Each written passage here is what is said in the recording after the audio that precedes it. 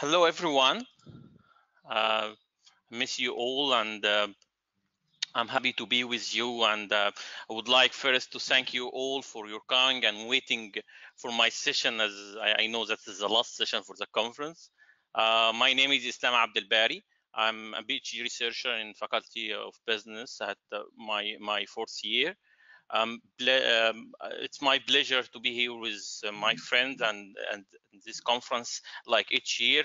I would like to thank uh, my colleague Nasser and his uh, committee for this wonderful uh, and excellent organization actually, and especially uh, I have watched many session online live stream.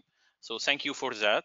I will uh, also want to appreciate my supervisor, Dr. James Benhin. I don't know if he's attended or not for his co cooperation and support in the research presented. Uh, now I'm going to present the, my, my presentation today, Imperfect Reform, Potential and the Challenges of uh, Arab Development.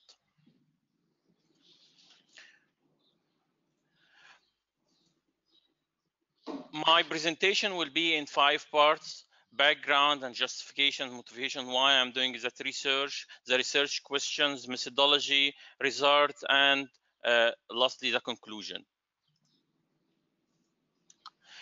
First of all, and in terms of the potential and the Arab uh, countries had started its development from a long time. By mid of last century, development was made was based on strong government and central planning. After oil booming, uh, Arab countries, especially uh, Gulf countries, started uh, ambitious program for uh, public spending and infrastructure service. However, this type of development collapsed during uh, 18th. Uh, Therefore, many Arab countries have started a new development theme with cooperation with international organizations like IMF and World Bank this reform were concentrated with uh, structural reform adjustment and macroeconomic stabil stabilization aim to attract more FDI and improve market capabilities. However, as we can see in this graph, how the economic growth rate in Arab countries uh, has been unstable and fluctuated over the time and we couldn't see any significant improvement due to these reform programs. And if we compare, the Arab growth, uh, the economic growth of Arab region, comparing to other region, even the advanced economies or developing economies, we can see uh, how the economic growth for Arab region is very low comparing to all other region in the world, especially after 2011 due to all of these failure, after implementing the economic reform programs, as it doesn't affect the standard of living for Arab country for Arab citizen. So the wave of protests that spread throughout most of the Arab region, asking for new development model. The Arab street had a clear voice that no accept the current uh, uh, reform which exists already. The, the Arab Spring reflect not only the demand for job and improving the standard of living, but the protests were against corruption and unequal access to economic resources. Therefore, the study try to understand the possible explanation whether the, econo the economic growth performance of the region has been disappointing because Arab countries' economies have, have lagged behind in terms of reform or due to the reform program itself. In order to achieve this aim, we need first to define what is reform and how we can measure and what is the economic indicator related to that reform and then we can determine who's the winner and loser from this reform and then explain the reasons that lead to uh, current outcome. in terms of the research methodology, the study used a comparative heuristic approach to examine the outcome of economic and social reform in the Arab world comparing to other regions. And the analysis were taken was taken in two levels. The first level compare Arab region as a whole to other uh, uh, region in the world, and the second level is comparison between uh, subgroups inside the Arab region itself. Uh, the, the, the, the, study sample included 78 uh, countries, including 17 Arab countries, the data from World Development Indicator and EIU, and we classified the, period for four period, sub-period. And we classified uh, Arab groups into four groups based on the World Bank classification uh, for four groups. The first group, uh, resources poor, labor abundant, which include uh, the emerging economies like Egypt and Jordan, Lebanon, Morocco, Tunisia. Resources rich, labor abundant, the second group. Uh, which country have uh, uh, resources, oil, oil, or national resources, in addition uh, human capital, high human capital. The third group, resources rich labor importing, uh, represent to GCC uh, Gulf countries. In addition, Libya. Uh, the the fourth group is low income countries, including Sudan and Yemen. Uh, the research defined reform as the, policies and action were taken by government to achieve to achieve a significant improvement in the economic condition, aiming to achieve inclusive development and improve the standard living of citizens. Based on this definition, we can classify the socio-economic reform into three Uh, uh, main uh, category. The first one is economic stabilization. The second, structural adjustment reform and social development policies. The first group, stabilizations, mean make your the economy stable, the macroeconomic indicators such uh, exchange rate, inflation, unemployment, all of this become stable so so we can sustain the economic growth in, in that case structural adjustments mean uh, uh, build uh, the capabilities of market uh, reform taxes banking uh, banking reform and uh, uh, uh, social development process as well. So in that case, we create through principal component analysis the macroeconomic indicator as we can see. So we transfer our, our, first we define the reform and then we transfer reform to main indicators and then the main indicator transfer into uh, uh, uh, sub variable. So we can measure all of these together. So macroeconomic instability uh, include internal and external, and then structural market reform, human capital, and physical infrastructure. So this is the component and how we, we measure that reform through principal component analysis. Okay. So the research uh, result,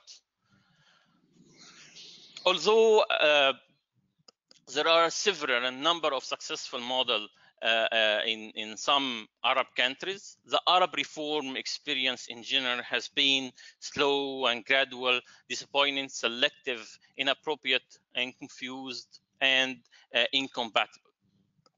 Uh, there, of, of, course, there is a, a different uh, uh, chart and, and analysis all, all, of, all of this about uh, the reform experience in, in, in, in Arab region. But we can use this uh, scatter diagram to summarize the whole of the story. As seen in that scatter diagram, Arab countries have divided into three clusters according to structural reform and macro stability as an average between 1995 to 2014 and is, is not uh, surprising that these uh, the, the, same categories like the same we used in uh, our study. The first group, as we can see here, in quadrant three and four, Uh, excuse me, can you see the cursor of the mouse? Yes. Yes. Okay. So the first group in in in, in quadrant three and four, which mainly for oil Arab oil exporter, seven countries, highly economically stable. Only three, only three of them, Bahrain and Emirates and Qatar, have succeed in attach this stability with structure uh, uh, reform. Although it's limited, but at least they achieve somehow structural reform progress. But overall, for all these group, structural reform has have, have generally been insufficient. As we can see here, Kuwait and Saudi Arabia has a very limited achievement in, in, in, in terms of business and structural reform. The second group in the figure, as we can see, concentrated in quadrant two, okay, is mainly uh, uh, the, the group of the Arab reformer, resources poor, labor abundant, Lebanon, Egypt, Morocco, Jordan, and Tunisia.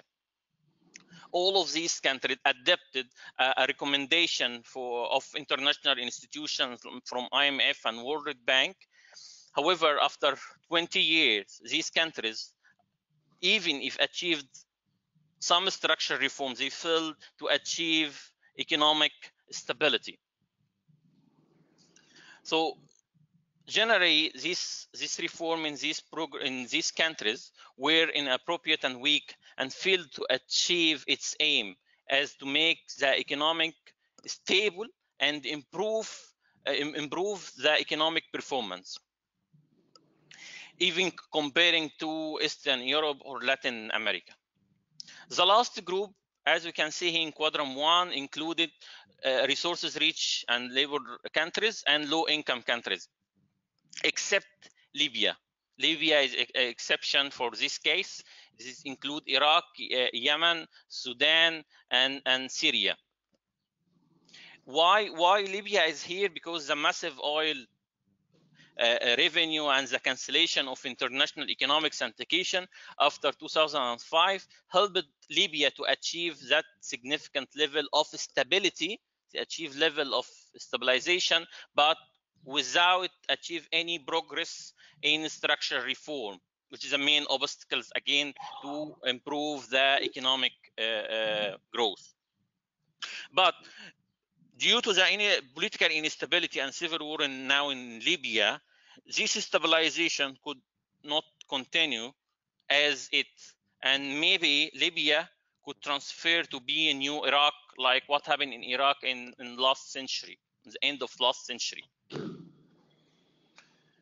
In fact, uh, there is six reasons had driven to this situation in Arab countries. The first reason as my colleagues Marwan from uh, the last session about the resource curse. The oil dependency is the main reason for uh, preventing to shift to uh, structure adjustment reform or even uh, uh, make the production diversification in in that can in in countries in Arab countries mainly for Gulf countries.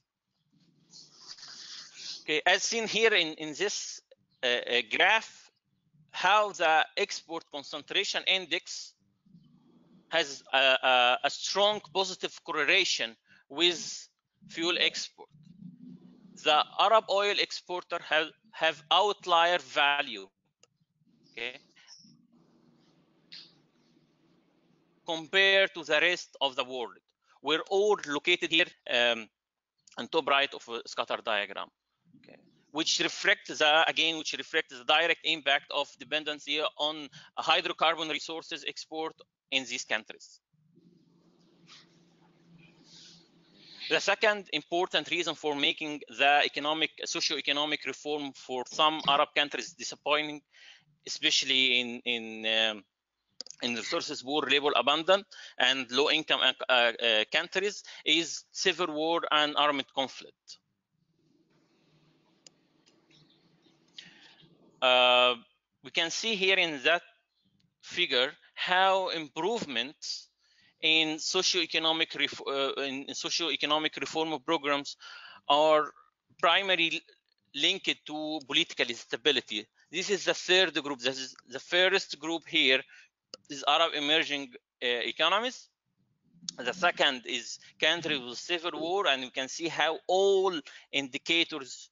This is the macroeconomic instability, so this is a negative value. So all these countries facing uh, uh, uh, many problems due to the civil war and, and Arab conflict. However, here, this is the Gulf countries without Libya. We can see improvement in, in, in macroeconomic instability. Uh, external stability is very good, except here, structural reform. And, and lastly, the physical infrastructure, of course, achieve a very high progress. Uh, the third reason, which directly related to the difficulty of achieving economic stability, especially among the Arab reform reformers, is that twin deficit hypothesis. The twin deficit hypothesis, or not economists, me refer to the situation where an economy is running pools, uh, uh, have a, a fiscal uh, uh fiscal uh, deficit and also deficit in in current account, as we can see here in the second uh, figure. We can see here how the, the, the, blue the blue line is the world line and the red is the Arab line. So we can see how the Arab line is more steeper than world line, which reflects the direct relation between public debt and external debt, and the same here between the budget uh, the deficit and the current uh, account.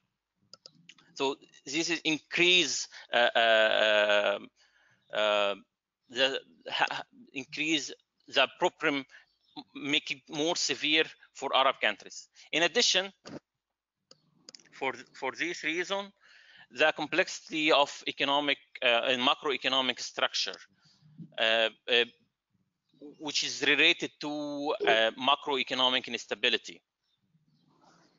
For instance, for instance, this is a strong positive association between unemployment and inflation, which is the most dangerous uh, uh, economic problem faced the Arab region. As you can see here in the, again, the Arab is, is the red one and the world is the blue one. We can see the blue one taking the shape uh, like uh, Phillips curve, which is uh, some countries have a positive relation and other negative relation, while it totally different. The, the case is totally different for Arab region as it is, is uh, positive line, and and again, all Arab countries, most of Arab countries are here in stagflation, which is means that Arab countries have the post problem in high level of inflation and high level of unemployment rate. One of the main uh, for that failure is misgovernance and dictatorship, in particularly uh, uh, the constitutional framework, the level uh, of uh, institution, the corruption level for government, uh, in, insecure property right, the intervention of government in market. In addition, all other uh, factors related to political repression and uh, uh, economic disparity. Say again here, we can see by this figure, the scatter diagram here represents the relation between governance level and other aggregate uh, development indicator or uh, uh, govern or reform performance. You can see here this is the positive relation countries who achieved high level institution achieve uh, a high progress in reform. So no Arab countries in this quadrant, and mainly most of Arab countries is here with low level of governance and low level of uh, uh, economic performance. Lastly, the failure were related to uh, the program itself the majority of, of reform programs which launched in Arab countries and implemented through top to down approach based on the concept of trickle down effect. Trickle down effect means that we achieve high econo uh, economic growth and then we'll this this growth will go down to poor people and middle and low uh, uh, social classes. However, because there is no ch available channel to transfer the impact of reform from top to down due to several reasons, especially level of corruption, ineffective government, um, absence of a strong uh, civil society, this is not happening. In addition, the affected uh, group of people uh, didn't share the decision making and thus, uh, thus they show a low commitment uh, to implement this policy, especially when these policies related to social costs like uh, increased taxes or reduce the subsidies. So in general, yeah, just one one slide, yes. Yeah, okay. So in general, Arab countries um, uh, seen first to initiate reform and then consider how it will fit in good strategy.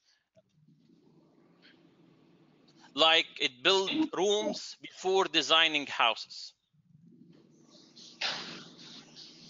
So my my recommendation, of course, this this type of analysis, which heuristic uh, comparative advantage, we com complete this analysis through uh, uh, analytical and regression analysis in, in other anal in other uh, chapters in my thesis. So at the end of this uh, analysis, we can recommend, strongly recommend that especially after the Arab Spring Revolution, we need to uh, uh new development model.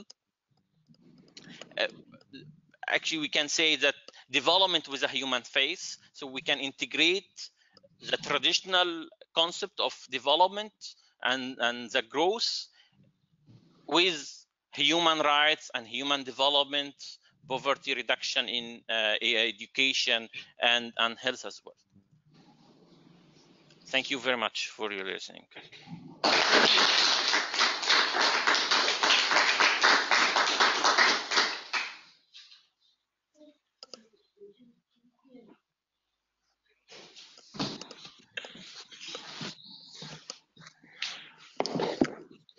Hello, Islam. Thank you for Hello. the presentation. I find it very interesting. Um, there are just two sort of well observations or comments. Um, one is I find that you if you have panel data like Mm -hmm. cross section time series, um, did you carry out hypothesis testing uh, using econometrics or did you leave it like this? Okay, thank you for your question. Yes, um, this is uh, we, we we use this this study as a, a, explanatory study to understand what is going on on the Arab region and how and we we need to understand how we can measure that reform and and and and which variable related to it and discover the variable could affect the performance the economic performance for Arab region.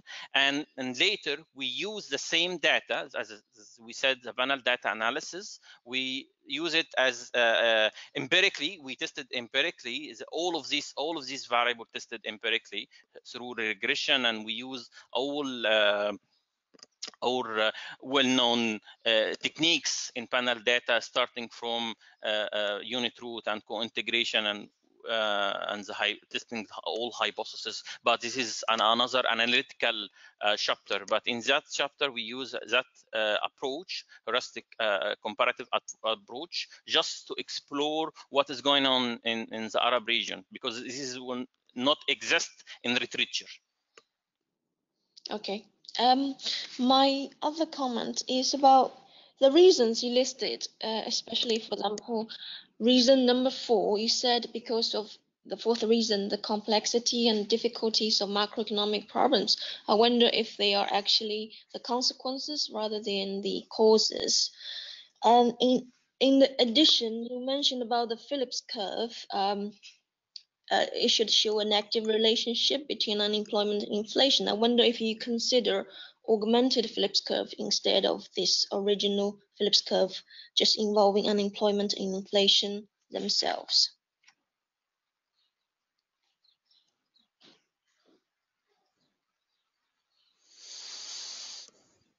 well, um,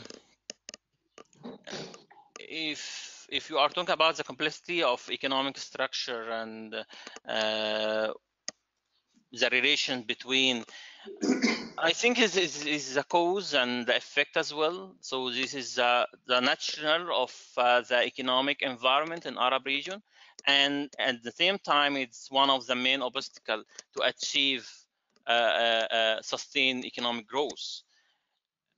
Um, regarding to Phillips curve, I'm, I'm just want to show this is just to prove that uh, Arab region have a special case. It's not identical like other world, other countries. So simply you can see that that Phillips curve are drawn clearly here on, on the uh, for the whole sample, while uh, for Arab uh, line it is straight uh, line like positive relationship. Okay, just just to, to, to know what is uh, the problem in that in these countries, right? Okay, thank you. Thank you. Any other questions? Yep. Can you pause it? Thank you, Islam Albari. Albari. Uh, my question is very simple.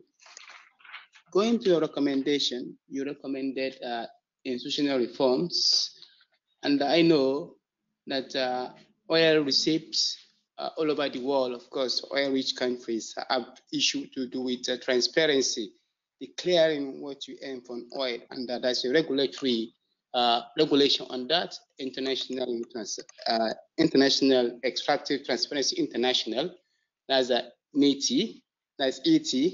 So, uh, in perspective of your research, your work, is there anything like that in Arab uh, rich, oil-rich countries.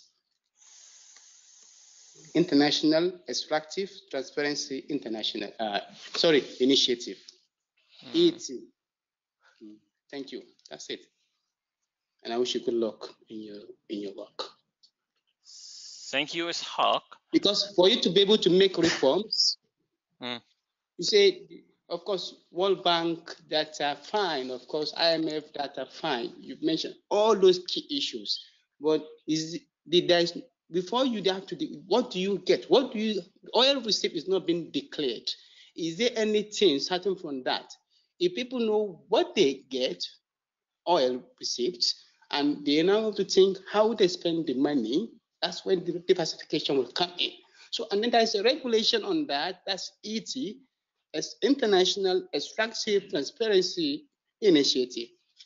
Does this institutional framework in Arab countries, oil-rich countries, I think it's worth considering. That's my own observation, I'm afraid. I wish you good luck. Thank you.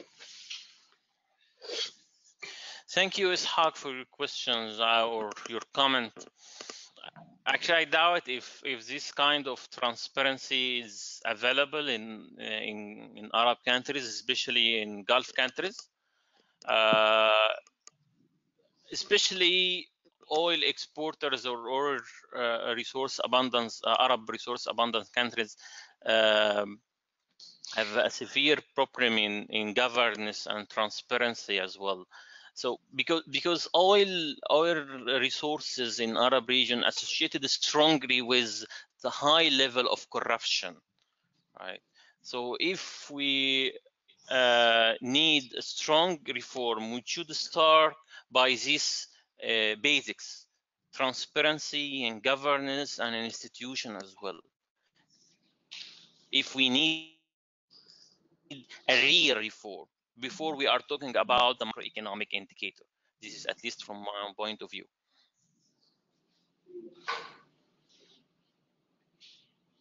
Okay.